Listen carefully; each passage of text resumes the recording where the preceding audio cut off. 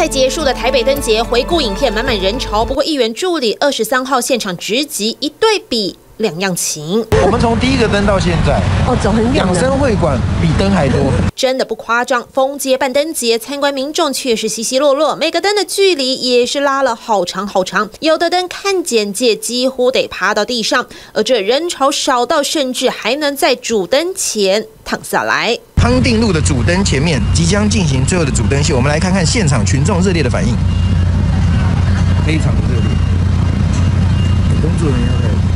啊，工作人员很多啦，连主灯前都没啥人，这也让议员助理质疑六千八百万预算的灯节效果在哪？因为我们做都做批发的，来补货的，四点以前一定要来，不然啊，他们菜市场下摊。都快要四点了，来都不能来啊！也可能也是怕疫情的问题，所以把这个动线拉得比较长一点。但是我觉得最重要是东西向这一块哈，就是没有照顾到。不过北市福寿虽然跟历届相比人潮仅剩四成，但初步商机估算至少还有近亿元。我觉得有没有成功，应该先问在地的厂那个商家了，到底营业额增加有多少？不过这个不要紧的，一个月后我就知道。没有那个国税局就会告诉我，每一个活动一定都有需要检讨的地方。相关局处徐行受教，毕竟市长也坦言，今年的灯节您自己打几分？